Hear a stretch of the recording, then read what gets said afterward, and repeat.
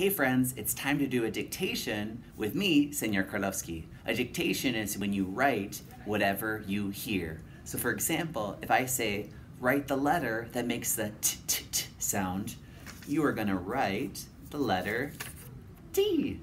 So you need your sheet of paper and a pencil. Here we go. Number one, write the letter that makes the k k k sound, like in the word cat. Write the letter that makes the k k k sound, like in the word cat. Number two, write the letter that makes the ah ah ah sound, like an octopus. Write the letter that makes the ah ah ah ah ah sound, like an octopus. Number three, write the letter that makes the ah ah ah sound, like an apple. Write the letter that makes the ah ah ah sound, like an apple.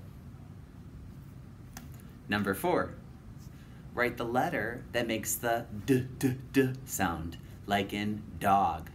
Write the letter that makes the d d d sound, like in dog. And number five, write the letter that makes the g g g sound, like in go.